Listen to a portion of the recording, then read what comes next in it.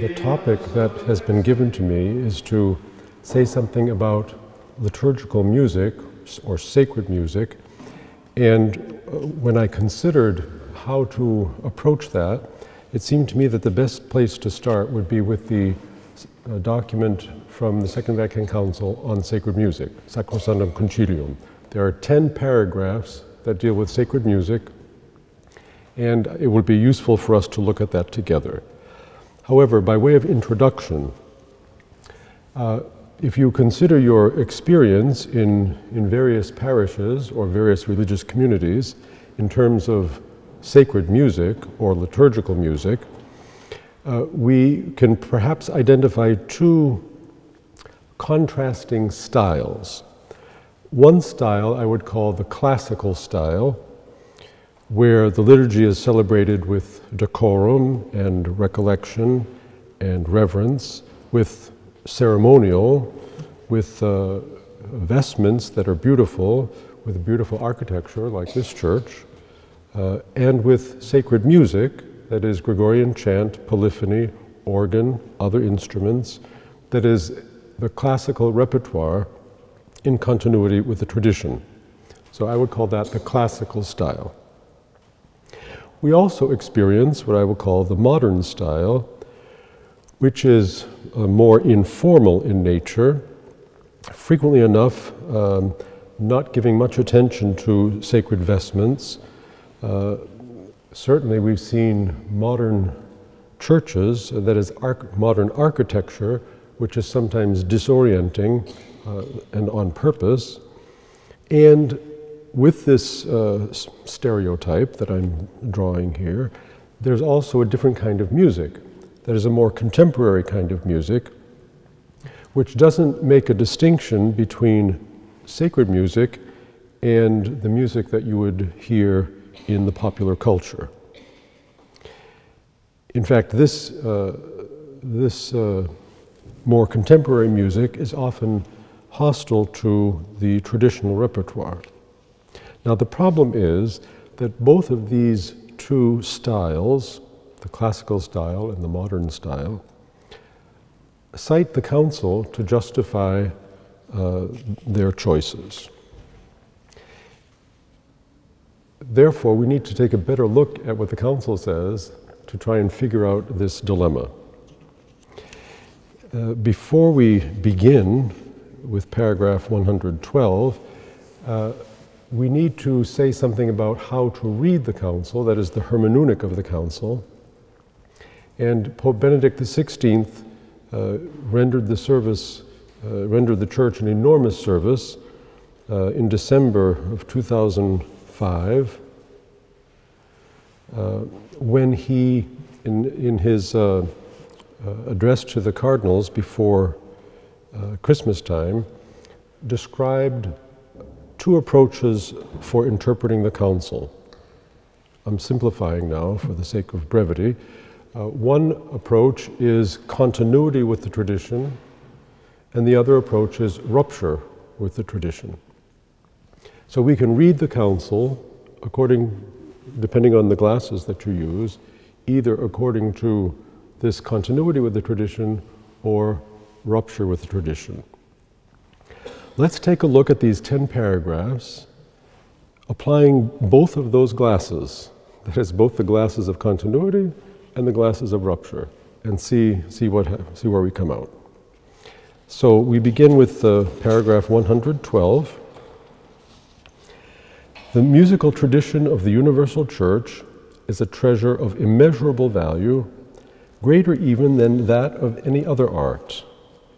The main reason for this for this preeminence is that as sacred melody is united to words, it forms a necessary or integral part of the solemn liturgy.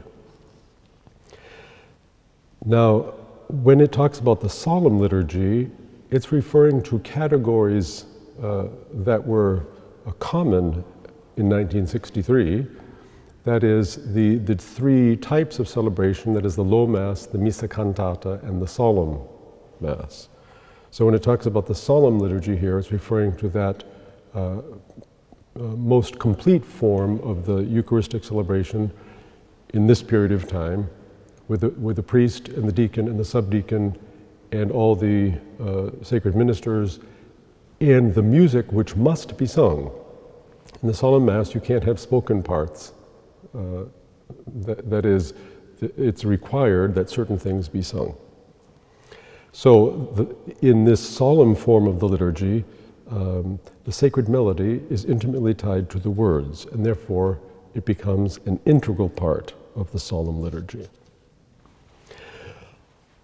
Uh, let's just look at that uh, initial affirmation according to the principle of continuity. The tr- musical tradition of the church is emphasized here. And if you look at the second paragraph, uh, there's explicit reference to St. Pius X and general reference to Roman pontiffs, other Roman pontiffs. Well, in order to interpret this document in terms of continuity with what went before, you need to refer to Pius X and the document Tra le Sollecitudini, 1903, uh, and Pius XII, who wrote an encyclical on sacred music in 1955. In 1958, the Congregation of Rites came out with an instruction to elaborate on Pius XII's uh, encyclical on sacred music. This uh, document of the Second Vatican Council is from 1963.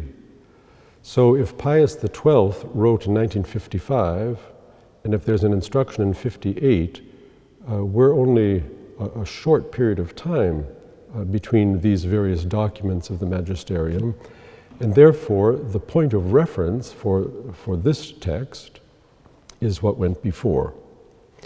It's important that St. Pius X is best known, well, for two things in terms of sacred music. He uses the phrase active participation in 1903, and what he means by that is that the people sing the ordinary parts of the Mass.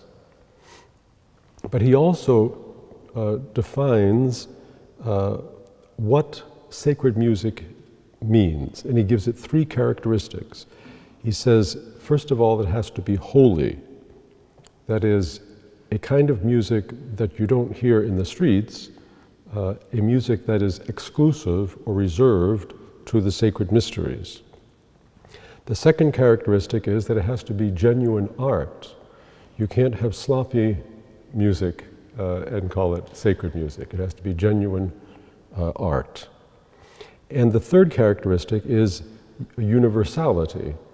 Uh, the church being spread throughout the entire world has a certain tradition and repertoire. Uh, and if that is promoted everywhere, then the, the sense of belonging to the whole church, the universal church, is much more, uh, much more real.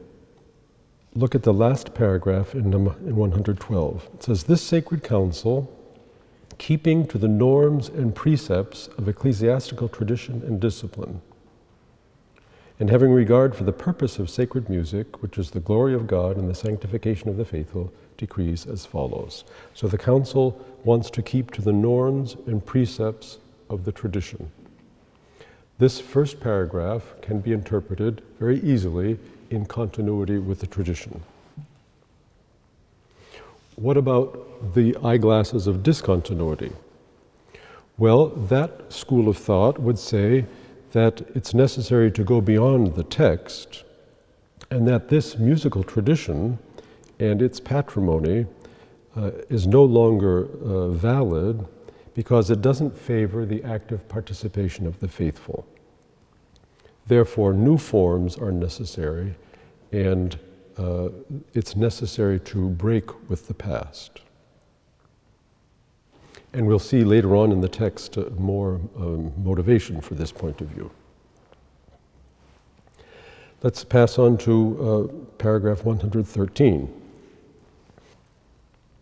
Liturgical action is given a more noble form when the sacred rites are solemnized in song, with the assistance of sacred ministers and the active participation of the people. Once again, the reference is to a missa cantata, or a solemn high mass, as opposed to a low mass.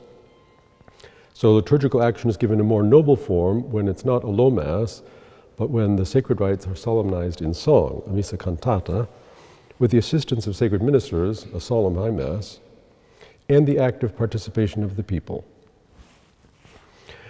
We'll see that the key to this, uh, uh, this dilemma is how to understand active participation. Then it talks about the language to be used. And uh, it simply makes reference to previous uh, articles of Sacrosanctum Concilium. So let's take a look at uh, Article 54, which talks about the language to be used for Mass. Paragraph 54 says In Masses which are celebrated with the people, a suitable place may be allotted to their mother tongue. So, this is something new with the Council. This provision is to apply in the first place to the readings and the uh, universal prayer, that is, the prayer of the faithful, but also, as local conditions may warrant, to those parts which pertain to the people. Nevertheless, steps should be taken so that the faithful may also be able to say or to sing together in Latin those parts of the ordinary of the Mass which pertain to them.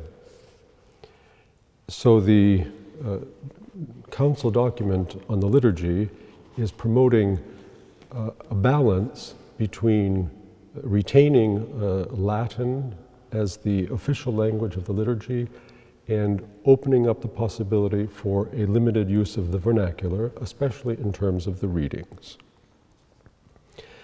Now, how to interpret this in terms of continuity or discontinuity. Uh, let me just take a moment to, to talk about the active participation of the people.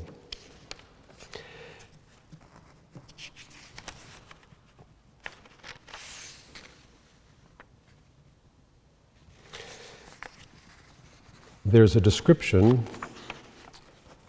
in another document of 1967 which describes the participation of the faithful. This is a document called Musicam Sacram, uh, issued by the Congregation for, uh, for Sacraments as a way to interpret Sacrosanctum Concilium. Let me find the exact text for you. The faithful fulfill their liturgical role by full, conscious, and active participation which is demanded by the nature of the liturgy itself, and which is, by reason of baptism, the right and duty of the Christian people. This participation, A, should be above all internal, in the sense that by it the faithful join their mind to what they pronounce or hear and cooperate with heavenly grace. That's the first meaning of active participation internal. B. This participation must be external also, that is, to show the internal participation by gestures and bodily attitudes, by acclamations, responses, and singing. The faithful should also be taught to unite themselves interiorly to what the ministers or choir sing, so that by listening to them, they may raise their minds to God. So listening is a form of active participation. This, this document, once again, is uh, 1967, so four years after Sacrosanctum Concilium as a official interpretation of the text. So when we want to know what active participation means, there are, there are official documents which uh, elaborate on that topic. Back to Sacrosanctum Concilium. How can we interpret paragraph 113 in terms of continuity? Well, the ideal presented is a liturgy celebrated solemnly uh, with, with chant, with sacred ministers, and with the active participation of the people, internal as well as external, listening as well as doing. So that certainly is in continuity with everything that Pius X was uh, working for, and up through um, the century uh, to Pius XI and Pius XII and the Second Vatican Council. Now, the principle of discontinuity would be that the active participation of the faithful requires that the songs be all in the vernacular. Because we saw that second part of the paragraph on the use of Latin and the vernacular in the liturgy. The principle of discontinuity would say that the insistence on uh, knowing the ordinary of the Mass in Latin was a compromise uh, text in the document and soon uh, taken over by a different praxis. So we shouldn't pay attention to what the text says, but rather to what its spirit indicates. In addition, uh, another, the, the, same paragraph 54 that I cited about uh, Latin or the vernacular, it says, if in some places it seems opportune to use a pew, to have a pew extended use of the vernacular in the Mass, they're thinking of mission uh, territory, uh, that those permissions have to go through the competent ecclesiastical authority. Now, here's something to think about. If, in terms of missionary countries, there was this openness to a greater use of the vernacular to correspond to the culture of the people, what about the culture of the European people? Um, it seems to me, if we're objective, that the Latin language is part and parcel, parcel of the European culture. Uh, it used to be very common in schools, uh, although uh, much less so nowadays, I imagine. But one way of, um, of enriching or of retrieving our own culture, our, our European culture and heritage, is also the use of Latin. Let's go to 114. The treasure of sacred music is to be preserved and fostered with very great care. So we're referring to a, a, um, a patrimony here, a repertoire. Choirs must be diligently promoted, especially in cathedral churches so the, the, uh, the choir has a, a fundamental role to play. But bishops and other pastors of souls must be at pains to ensure that whenever the sacred action is to be celebrated with song, the whole body of the faithful may be able to contribute that active participation which is rightly theirs. So here we have the problem of choirs and active participation. How to interpret that in the sense of continuity? Well, um, Pius XII, uh,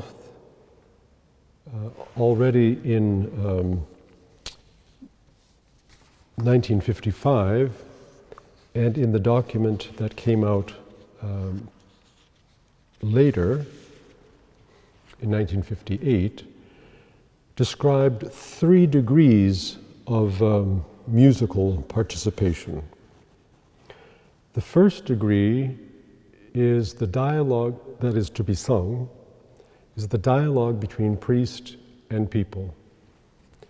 So, in nomine Patris et Filii et Spiritus Sancti, Amen. That's that kind of dialogue throughout the whole of the Mass is the first degree of participation. Now, if the priest can't sing, then we've got a problem. Uh, so we tend not to observe this first degree of, participation because uh, many priests don't sing. Now, if you ever go to a Byzantine uh, liturgy, it's impossible that a priest be ordained if he can't sing, or at least uh, kind of difficult. Um, perhaps we should pay a little bit more attention to the, uh, the training of people in the seminary. Anyway, that's the first degree. The second degree of uh, musical participation is the ordinary of the Mass. That is the, the, the Kyrie, the Gloria, the, um, the Credo, the Sanctus, the Agnus Dei. Uh, those parts of the Mass that are sung, that are the, they're the same every, every Sunday. So, uh, one of the things that Pius X wanted to do in 1903 was to ensure that, uh, that people were trained to sing the ordinary parts of the Mass. The third degree is much more uh, difficult, that is, the propers of the Mass in, in Gregorian chant, because they require a certain level of musical preparation, and therefore tend to be out of the reach of a, of a general uh, congregation. But if the priest and the people are singing the responses, and if the people are singing the ordinary parts of the Mass, and if there's a schola that is proficient in the propers of the Mass, then we can participate by listening. Uh, and uh, if if you only had the opportunity to spend an, an, entire year listening to the repertoire of the, the chant repertoire, uh, you, you would, uh, it would sink into your bones and you'd see how really, how really beautiful it is. Uh, you don't have to sing everything, uh, but uh, you can participate also by listening in terms of the propers, because they tend to be rather difficult. So that's how we can uh, deal with this paragraph 114 about the schola cantorum and participation in terms of continuity with the tradition. In terms of discontinuity, uh, the attitude would be that the patrimony of sacred music, not just for chant, but also for polyphony, and the very existence of the schola cantorum uh, prevent the participation of the faithful. And therefore, um, that patrimony has to be put aside. Paragraph 115. Great importance is to be attached to the teaching and practice of music in seminaries, in novitiates, in houses of study. Teachers should be carefully trained. It's desirable to found higher institutes of sacred music composers and singers, especially boys, here in England you have a marvelous tradition of boy choirs, um, which is the envy of uh, the rest of the world. Um, and the, the document refers to that explicitly. That is, composers and singers, especially boys, must also be given a genuine liturgical training so they understand uh, why they're singing what they're seeing, singing and, and uh, what it means in its larger context. So this is a question of formation. In terms of continuity, well, uh, Pius X and Pius XII insisted uh, on this aspect of, of uh, training. So it's certainly in continuity with the past. In terms of discontinuity, uh, this recommendation um, has very rarely been put into effect. Um, because if the ideal is a kind of popular uh, song for Mass, then you don't need specialists, and therefore you don't need to train them, because anyone can do it. So you see that the, the text itself of Sacrosanctum Concilium presupposes that sacred music requires formation and training. Number 116. The Church acknowledges Gregorian chant as proper to the Roman liturgy. Therefore, other things being equal, it should be given pride of place in liturgical services. Other things being equal. What other things? Well, the next paragraph. Other kinds of sacred music, especially polyphony, are by no means excluded from liturgical celebrations, so long as they accord with the spirit of the liturgical action. So, Gregorian chant and polyphony are being recommended in this paragraph. In terms of continuity with the tradition, it's pretty obvious. Uh, Pius X and Pius XII insisted on these things, but you have the great schools of, of polyphony after the, after the Council of Trent, uh, Palestrina and, and the Roman school. Uh, here in England, even before that, you have uh, composers like Orlando di Lasso and people like that, uh, polyphonic masses uh, that, are, that are part of our patrimony. In terms of discontinuity, uh, people would uh, look at the phrase as long as they accord with the spirit of the liturgical action that I just cited. And the reference to Article 30 is on active participation. So the school of discontinuity would say active participation precludes Gregorian chant and polyphony. Let's go to 117. The typical edition of the books of Gregorian chant is to be completed, and a more critical edition is to be prepared of those books already published since the restoration by St. Pius X. It is desirable also that an edition be prepared containing simpler melodies for use in small churches.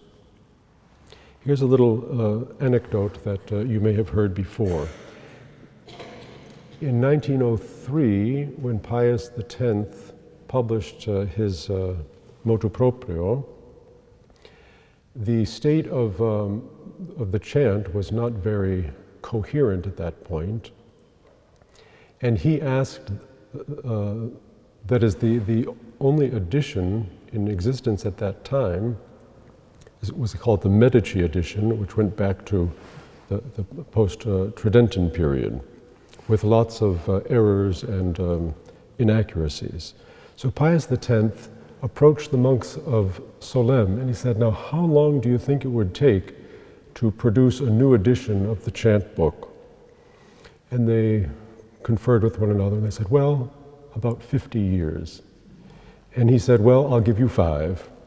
And so in 1908, the Graduale Romanum was published. Now, they had to rush, and uh, as a result, the work wasn't complete.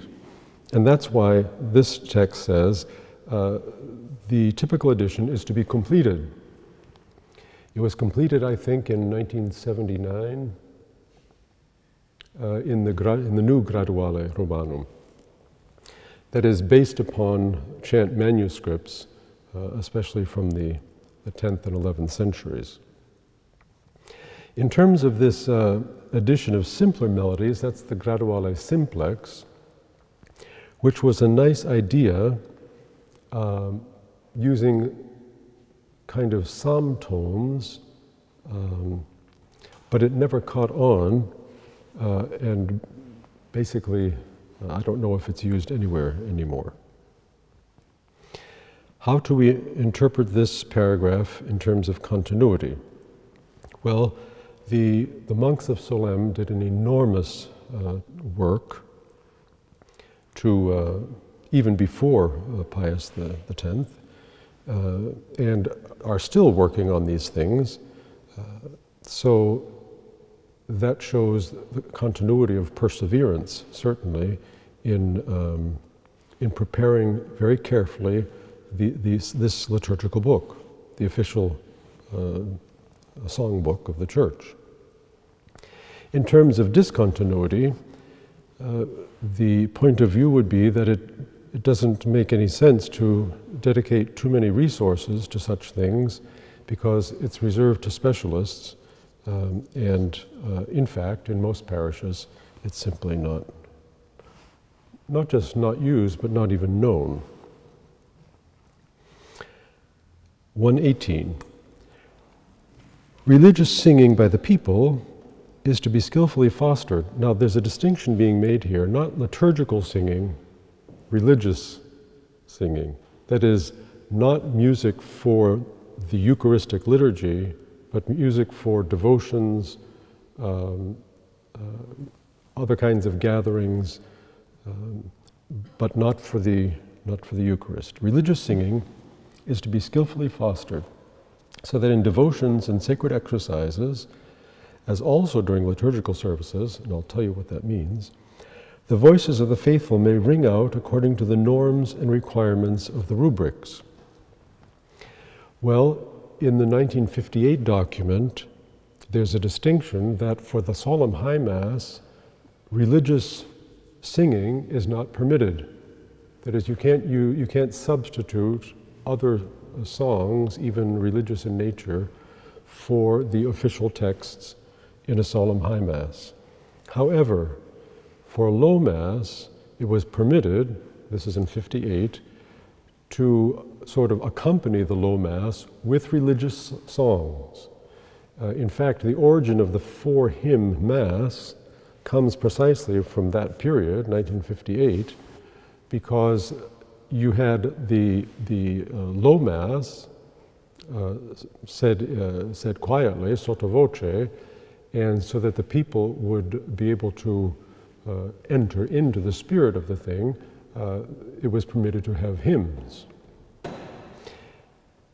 Now, it depends on which country you're from, what kind of a, a repertoire of hymns uh, exists.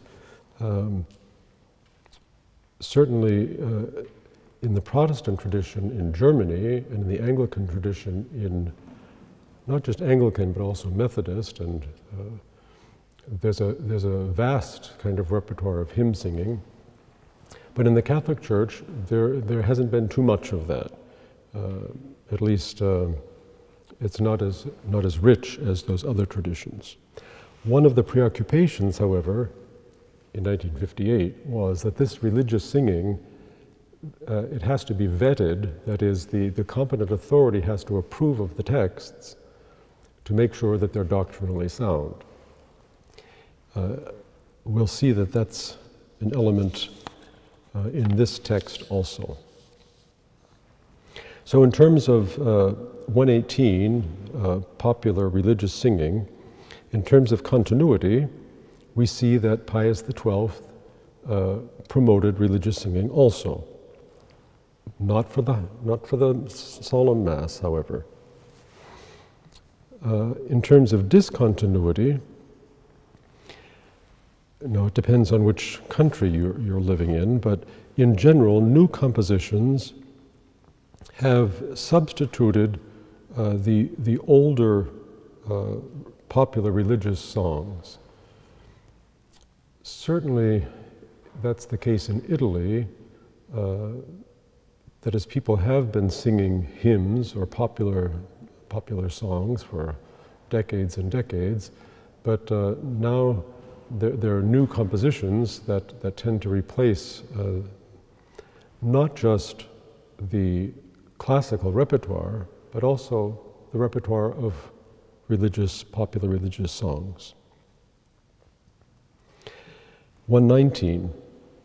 In certain parts of the world, especially mission lands, there are people who have their own musical traditions, and these play a great part in the religious and social life.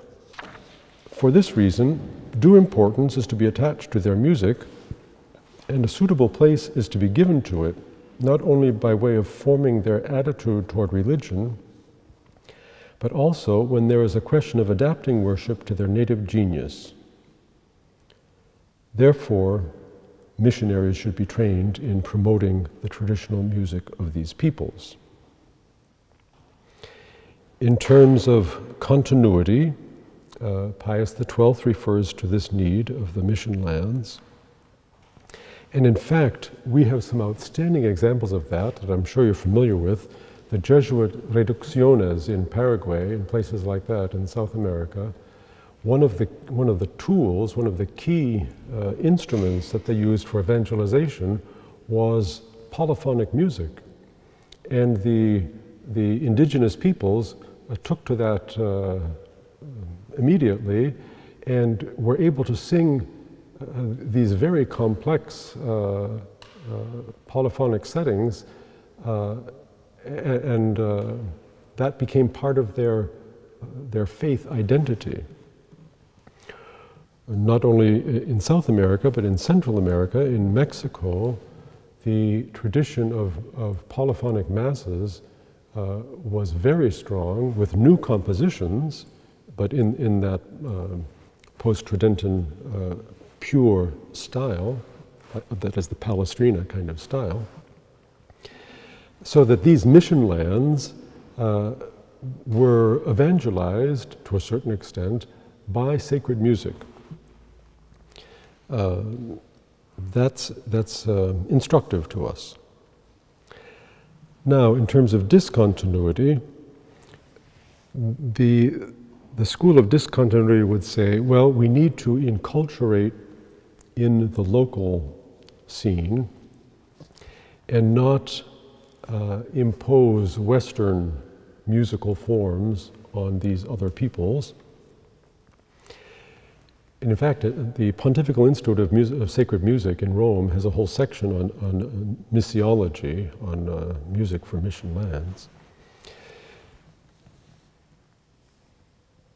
Well, there's the difference there, or the contrast between the local church and the universal church, and that's not always easy to, to negotiate. But as I just as I mentioned earlier, if it's useful to uh, cultivate the music of local cultures in the mission lands, wouldn't it be also useful to cultivate uh, musical traditions in Europe? Uh, we have our, our traditions, and it seems silly to just uh, uh, abandon them uh,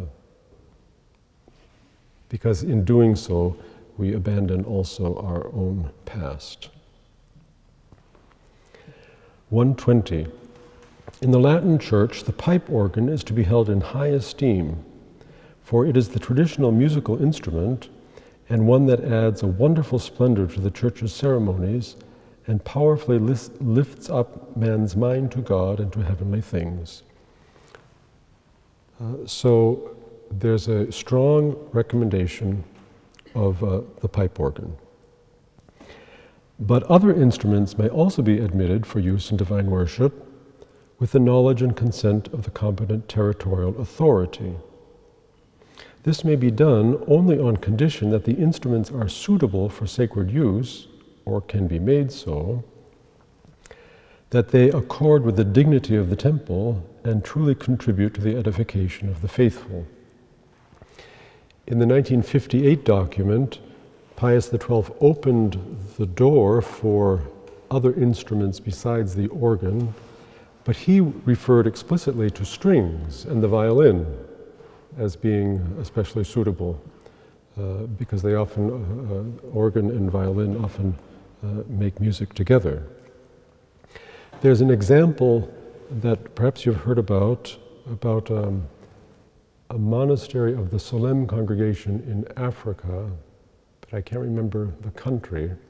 But the, the custom there is to, um, there's this stringed instrument with a very long neck and a bowl, I guess in the family of a lute or something like that. Um, and the monks there have perfected the use of this local instrument for accompanying the, the chant of the divine office, something very beautiful. Uh, so the, um, the interpretation of continuity doesn't, doesn't, uh, doesn't limit uh, the repertoire to only what has been done in the past. It's also open to the future and to other cultures and other places with certain controls, however, namely that the competent territorial authority uh, supervise these things. The trouble is, most bishops are just too busy doing other things to worry about uh, checking the, the, the text of a, uh, of a proposed new hymn or something like that. And therefore, that oversight, that, that is, um, that supervision has often uh, fallen by the wayside, with the result that uh, we get all kinds of things uh, that are not uh, doctrinally sound. In any case, uh, the organ and other instruments are recommended here. In terms of discontinuity, uh, some people would say that the organ um, shouldn't be used very often because the culture of the organ has disappeared, and uh, besides, it requires uh, a professional training. And if the goal is more a more informal style, that uh, and uh, people could make music without uh, special training, then the guitar would be much more suitable because it's more readily accessible to people. In, uh, in Norcia, the, the town where our monastery is, the, the parish church has a lovely organ in the, in the uh, cantoria, but it's never used. Uh, instead, there's an electrical keyboard that they use uh, for a kind of pop music style. Um, and it seems like a very strange thing if you have this beautiful organ uh, available for you, but a beautiful organ takes skill to play, um, whereas a, a simple keyboard is something accessible to anybody. 121. Composers filled with a Christian spirit should feel that their vocation is to cultivate sacred music and increase its store of treasures. So, musicians have a vocation, not simply to uh, safeguard the, the, treasure, the, the musica traditio, but to increase it and to uh, develop it. Uh, and therefore, composers in particular are exhorted to produce pieces which have the qualities proper to genuine sacred music. What are those proper qualities? It doesn't say. You have to go back to Pius X. Holy, true art, universal. So, new compositions which have those qualities, not confining themselves to works which can be sung only by large choirs, because what about the small parishes that don't have the resources for a large choir? But providing also for the needs of small choirs and for the active participation of the entire assembly of the faithful. In the Basilica of San Benedetto, for a while we had a, a small women's choir, but they weren't, uh, they weren't mu- professional musicians, and they had uh, quite a bit of trouble singing anything uh, too complicated. So our choir director wrote music for them just in two voices instead of three or four, and they did fine. So the, the, mus- the, the musicians, the, the composers in this case, have to adapt themselves to the resources that they have. Even outstanding musicians like Bach, he was a church organist, and he had to write things for his people and what they could do. Um, so the, the text uh, encourages musicians in this regard. The texts, however, intended to be sung must always be in conformity with Catholic doctrine. Indeed, they should be drawn chiefly from Holy Scripture and from liturgical sources. Uh, this is certainly in continuity with, uh, especially with Pius XII and with his um, indications about the the safeguarding of, of uh, doctrine in the texts to be sung. There, I think I've gone on long enough. There's lots more that could be said. Uh, I think it's important to read this, these 10 paragraphs of Sacrosanctum Concilium in a larger context, uh, in the context of the development of this musical tradition and I think you can see that uh, while Sacrosanctum Concilium opens the door for new expressions, and especially for involving the congregation in a, in a richer, more profound way, it's a, it's a pretty, pretty conservative document. Um, depending on your criterion for interpretation.